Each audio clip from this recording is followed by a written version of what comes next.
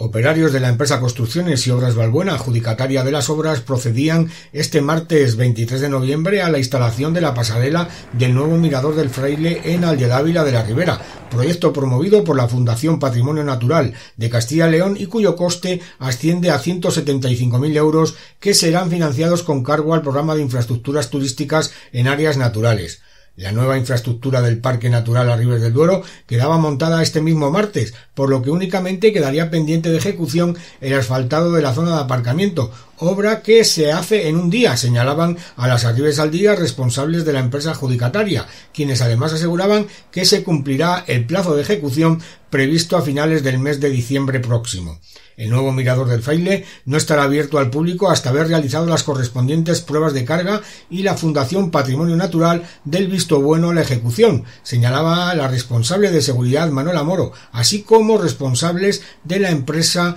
Olega Arquitectos, diseñadora del mirador. La instalación de la plataforma de hierro Corten comenzaba ayer lunes con la preparación de la complicada maniobra para equilibrar 12 toneladas de hierro suspendidas sobre el vacío. A primera hora de la mañana de este martes, operarios de grúas el madrileño iniciaba la maniobra para ajustar la pasarela a la zapata de hormigón y proceder a la soldadura con el machón de hierro previamente soldado a la estructura metálica de la zapata. Finalizada la maniobra más difícil del montaje, dos soldadores procedían a unir ambas partes. El nuevo mirador tiene un vuelo de 12,8 metros y una superficie total de 25 metros cuadrados, lo máximo autorizado por el Parque Natural Arribes del Duero, señalaban a este diario responsables de la empresa diseñadora. El ancho de la plataforma varía entre 2,4 metros en el inicio de la rampa y 1,5 metros en la punta, desde la entrada, los visitantes podrán acceder a través de una pendiente continua de 6% de inclinación,